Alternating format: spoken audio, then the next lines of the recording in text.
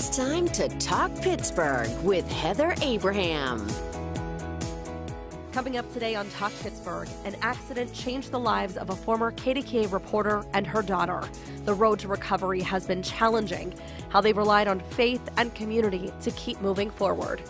A family suffered an unimaginable loss, their son passing away at just 12 weeks old.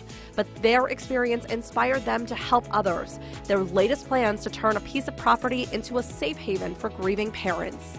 Stress and anxiety often goes hand in hand with projects. How to tackle transforming a space without it ending with tears and a mess to clean up. A lot to get to. Good afternoon and welcome to Talk Pittsburgh. And we are so happy to have Mary Ours joining us to kick off the show. So nice to have you here. No, I'm so excited to be sitting next to you. This is so fun and it's so different for me, but I'm ready to talk about things and just have a little fun. Yeah, and we were just talking about how the allergies have been crushing me. If you're dealing with this at home, you know, it's just been a whirlwind. I know, your eyes week. look better than yesterday. They were really red. My husband's dealing with all of this at home right now. And I'm like, are you sick? Like, are you sick? And he's like, no, it's just my allergies. It's I'm like, allergies. You have to beg a men to take medicine. So I'm like, please just take allergy medicine. yeah, I totally understand. I know. Uh, I know in your house, you guys watch a lot of cartoons. Yes. Ours too, and if you're a parent or caregiver, you know about Bluey. We love this show. Our kids wake up, they want to watch it every morning. And in fact, my daughter Lila, asked for the specific episode the other day. She wanted to watch this episode called Exercise. Okay. So apparently it's in the spotlight right now, the show, because it showed both the dad and the mom weighing themselves. And some people are saying there may have been some fat shaming that's happening. Fat. Yeah. They, they, pinched their fat. And it was a little bit like we don't watch Bluey, but I saw all of this blowing up on TikTok yeah, and yeah. people talking about it. So then I'm thinking if my daughter saw that, what would I say to her? So I don't think it's more like I get there's definitely two sides to it, but I think it's more of how your body should feel, not how it looks. Yeah. So I totally get why, you know, they stepped on the scale and it was like a and pinched their fat. Yeah, and the dad said, you know, I, I need to get out and do some more exercise. Yep. But they did this in front of the kids. So the Australian Broadcasting Company put out a statement saying, in part, the new version, because it was edited, mm-hmm. provides families with the opportunity to manage important conversations in their own way. Yep. But yeah, a lot of people are weighing in on both sides of this because it's a normal conversation in households. It's a normal this conversation. Happens. You know, I, I, know that there's a lot of uh, talk about body positivity. We should love our bodies yep. for what they are and what they allow us to do. I also know as a woman who's had three kids, yeah. my body has changed significantly from my 20s to where I am now. Yes. And sometimes it comes with like some tough conversations yeah. for ourselves, right? The other thing that kind of bothered me too about the episode and you know, I think it's it's not too big of a deal, but they also blame the kids. Yeah. for them not having time to exercise. So I think it's like that's not a conversation. That's not a burden you should be putting on your kids. Like yeah. I don't work out. I don't and I just it's not my kid's fault. It's just I don't feel like it sometimes. Yeah. But if I do feel like I want to work out and I want to get up and move, like I like dancing, then I'm going to do that. But it's not my kid's fault that I don't work out. This this is like a much larger conversation about finding time mm. for self care and like not having the guilt that we have as parents to set that time aside for ourselves. So. We'll save that for a rainy day. Talking about bodies, summer is coming up, beach trips, and we're finalizing our beach trip details. I know. So we are going back to Myrtle Beach. I have some pictures to share. We went last year, and this was our first family trip to the beach just the five of us. I love it. And it was it was amazing. Uh, we had such a good time. It was we created a lot of memories, and so we want to go back again this year. Why does that picture look so perfect though? How did you get everyone to stand still and pose? you know how it goes. I know it's a you disaster. how it goes. Oh, that's no. so cute. Um, and and I know you went to the beach last year. You guys did like a quick little weekend away. Yeah, we did, and then we all got sick when we came back, which of course. was fantastic. But we went to North Carolina. The drive down was really hectic, but it was Wally's first time at the beach, Aww. and he just, I mean, literally, this kid was just running to the water. So I'm like running after him. Viviana was kind of like, I'm not really wanting the beach. I just want to hang out with the seashells, kind of pick them, bring yeah. some home to the family. So it was a little bit different having uh, to chase after a one year old. We had a great conversation actually with a parenting expert about how that it can be really overwhelming yeah. for kids, like sensory overload if they've never been to the beach before, just like the sounds, the sights, everything, soaking all that in. But you had this really great idea. We should talk about tips and hacks mm-hmm. if you're going to the beach this summer. So this comes to us from onecrazyhouse.com.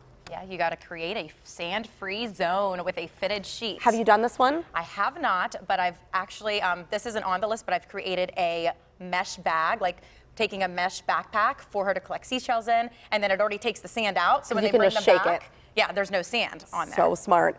Um, another one is to bring an inflatable kiddie pool. We tried this last year and it was a total fail Oh, gosh. because we didn't bring a pump. So here we are at the beach trying to inflate this thing. Yep. And then you have to either deflate it or bring it home. Yeah, so that was a it- fail yeah, for us. Yeah, and if it's small enough when you're blowing it up, it might be blowing around depending how windy it is at the beach because Yeah. it gets pretty windy. But cornstarch also to get the sand off. have you tried this? I have, I have it. It totally works. Totally I works. just dump it. I just dump it on them and start rubbing it off. It and will. It works. will absolutely help. And then I thought this was really interesting too. You can use uh, a coffee mug, like if you have one of those to-go coffee mugs, Mm-hmm. to put your phone, your keys, your money in, because people are going to think there's Or a coffee. Ziploc baggie. Yep. Or a Ziploc bag that works. Have you heard of people using diapers? And No. wrapping? Yes. So I, I, I have I not tried this. at home. Yeah. Okay. So you put your phone in the diaper and then you wrap it up like it's an old diaper. Stop. No one is going in that thing. They're Oh not even going to would know. attempt. Yes. Oh, that's a surprise one. I like that. Okay. We're going to North Carolina too, so I'm taking all these in. And then here's another one: set a timer for sunscreen. We know how mm-hmm. important it is, and at the beach we can oftentimes get carried away. So if you set that timer, no one will go home with the sunburn. Oh wait, and I also have um, a brush that I put powder sunscreen on my daughter's face. So, So you don't have to rub with the sand. and it is awesome, and it brushes the sand off her face too. Good idea. All right, some people might be going to Disney for a family vacation or maybe another an amusement park. And we know how disappointing it can be when you go somewhere like that. You have young kids, maybe they aren't tall enough to ride the rides, especially when you pay those really high prices for tickets. Well, one family is coming under fire. They actually took down their video on TikTok after trying to make their kid taller by gluing layers onto his shoes to make them platform shoes. Yeah. So the family took the video down. According to parents.com, they said that with their influence comes responsibility, and they would never want anyone to get hurt using their hack. What do you think about this? I've never been to Disney, but obviously this is trending on TikTok. I saw this on TikTok, so I'm like. If I would ever plan a Disney trip, I'm going to TikTok for my tips. I'm not taking that tip though, um, because height restrictions are there for a reason. They're there for a reason. They have charts actually that I saw that tells you the height restriction and requirements that you need to ride whatever ride. So you can plan your trip literally to those, which would make sense. I just don't. I mean, when when we hear about some people getting hurt on amusement park rides, like anxiety. well, and that's the thing. Like, I want my kids to be as safe as possible, and if they have a, a height restriction, it's I'm assuming they're for a reason. yes. But there I- were, I mean, this it goes beyond this. Like people were weighing in, and, and a lot of people were angry about Oh, yeah. them doing They this. were like, but, "What are you doing?" Yeah, but there were also people that were weighing in with their own hacks and Uh, things that they have hats. done. Like, yeah. why are you stuffing a hat? And and putting princess shoes on the kids? Like, that is so uncomfortable to walk around in the park and I'm sure. Yeah. I mean, it's just, I hate roller coasters. I'm not a big fan of them. And my daughter, she did when she liked them when she was younger. Now she's five. She doesn't really like, um, you know, like riding them. But if she doesn't want to, I'm not going to force her. Right. And if she's not the height, I'm like, all right, on to the next girl. Let's go. Gosh, have you taken them to Kennywood yet? Um, like 'Cause you when she was one, yeah. but I'm gonna do that this year. We're gonna go to Kiddieland. I mean, and that's the thing. There's like a mini Steel Phantom. So even if you if you don't like roller coasters, I think you'll be That's okay perfect there. for me. I will ride it with her. All right. Still to come on Talk Pittsburgh, we sit down with the hosts of The Unqualified Therapist to learn how they became mental health advocates and what they're hoping to achieve through their podcast. Plus, a former KDKA reporter and her daughter discuss her road to recovery after a severe injury left her in a wheelchair.